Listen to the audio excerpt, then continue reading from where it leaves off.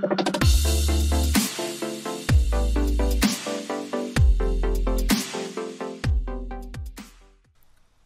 there and welcome to this video series on the 2024 Employer Set project.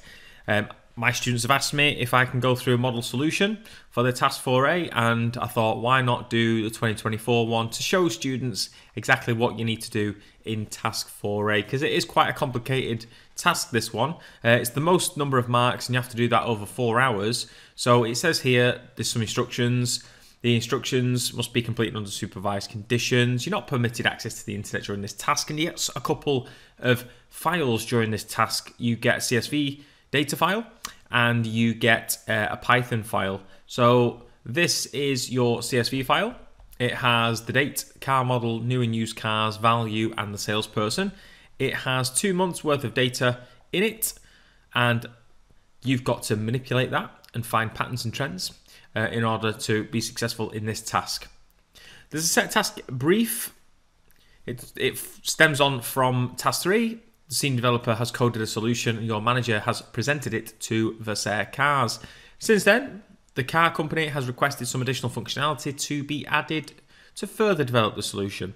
It tells you how to save it, tells you what you need to do, and this here on page four is probably the most important part. This is what you're going to have opening your exam um, or your control time throughout the whole thing.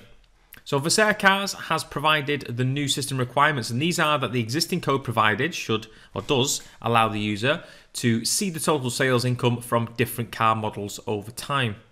So that's what's already been provided. The solution must also identify trends and patterns over time for new and used car sales and different sales people. The solution must be, be secure, and Versailles Cars has also provided user requirements for the solution. And these are that it must be easy to use, uh, you need to display the information in a meaningful way, and make use of appropriate textual, numerical, and graphical outputs in a way that would be relevant to the end user. And you've got a note there that says the data shows the sales records for the last two months. Now, for us, that's the bottom of the page. We're going to keep that. We're going to keep referring to it all the way through. Here is the code that we've been provided. And this is working code. So if we hit the uh, compile button there, or the run button, we've got a menu option that pops up. I type in total sales, um, press number one, it says choice accepted, prints out total sales, and then we get a sub menu. So it says please select an option, um, one, all sales by model, and two, custom selection. So let's go all sales by model and you can see there I've been presented or given the date, the car model, and the sales, I think that is, although that really should be formatted to two decimal places with some currency. Uh, yeah, it should, a symbol at the start of it. Uh, wonderful. And it looks like it's stopped there as well. So let me run that again just to check that second menu option. Put in number one, custom selection, uh, which model would you like? Give me the compass. And it looks like it says there the total value sales for your selection is 274,795 something. Uh, I think it's pounds. It could be any money. I don't know. Um, date, car model, new and used value, and then a salesperson involved in there. And you can see this first column here is the index as well.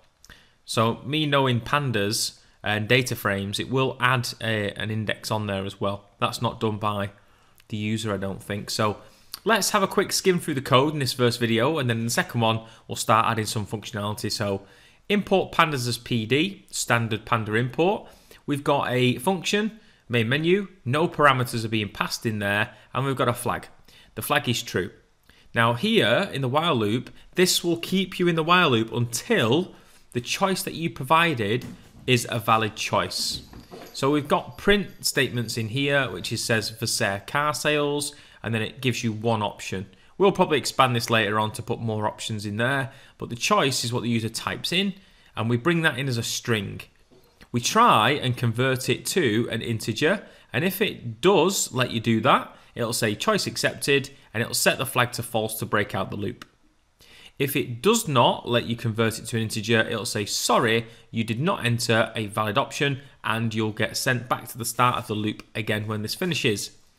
If all successful, you'll return the choice and the choice will get sent back. Currently, the, the only choice you can have is one currently, so it sends that back to wherever this function is called.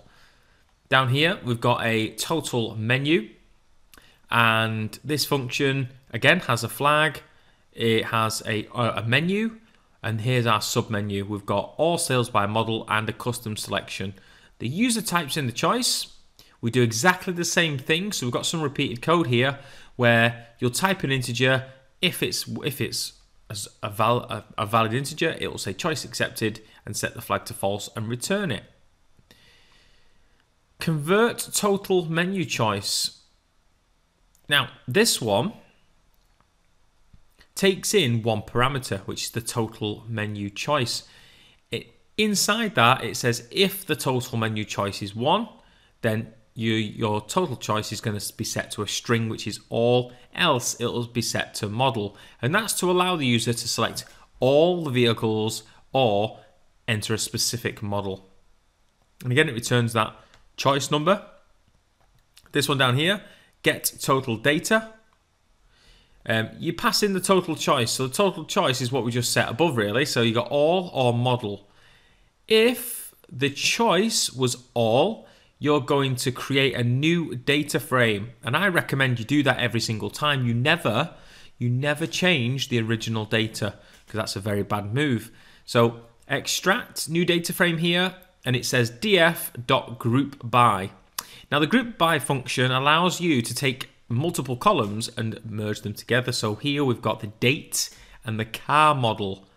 Date and car model. If we bring up our spreadsheet, date and car model, it will hide these, these ones here, and that's what your data frame will look like at that stage. Now, we've got a comma here, and then it says sort equals true. So we're going to sort by the date it seems, but you've got value dot sum. Outside the brackets means every time you group a car model, I think it looks like it's going to group the car model. Let's take that for example here. So group the car model. So let's say we selected all the compasses. We're going to add all those up together. So in essence, what it does is it will sum up all these numbers here and output them to the screen. So there we are. That's the number that it will provide in the end. And what we're doing is we're getting, well, the exam board is, is providing that for us, which is useful. Now, I say to my students, you can, everything you need will be pretty much in here if you can understand it. So, a big battle is just understanding what they're asking. So, group by date and car model, sort the data, and give me the sum of the value column.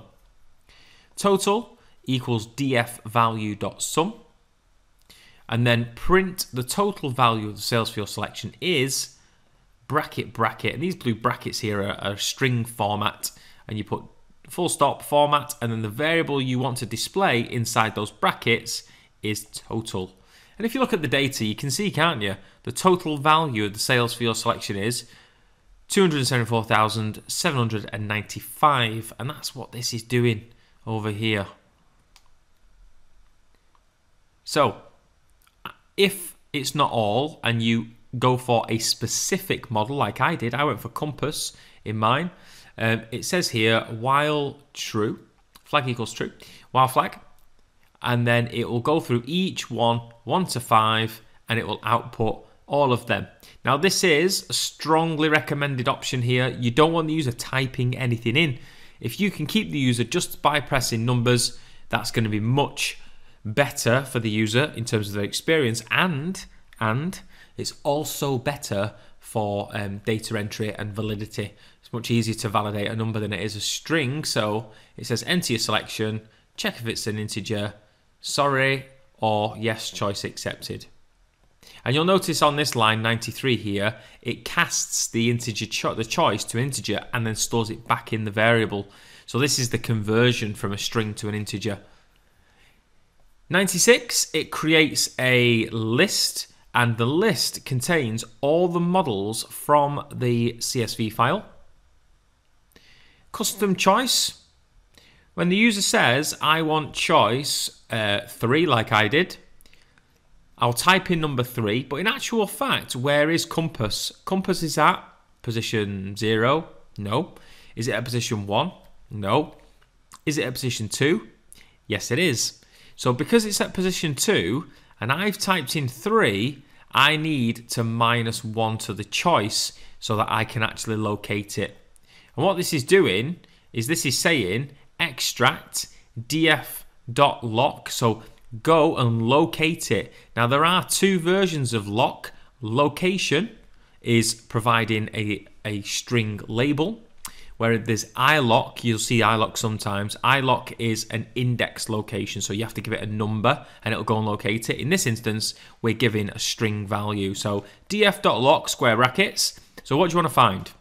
I want to find in the data frame, in the car model column, I would like to find anything that equals or is equal to the customer the custom choice. So that for me, that was custom choice, when I put it in models there, it would return compass. So go into the models array, at the position of choice, I typed in 3, we minus 1 to it because it's at position 2. Custom choice has compass in it. It will check and find anything that matches compass. After that, it will say total equals extract, that's the data frame I've just created, value.sum. So that will output the sum value of all of the compasses in my list. Then we print that out again without any currency or to two decimal places, which is very naughty. Very naughty indeed. Okay. Here you've got return extract. So that will send back the data frame extract for us. And then we get to line 106. So line 106 is main menu choice. Main menu choice. This is the first line that we actually run in the code. Main menu choice calls the function main menu. We scroll all the way up. There's main menu. And then you've got return choice. So whatever the user types in, you can only type in one at the minute. So that'll return choice one.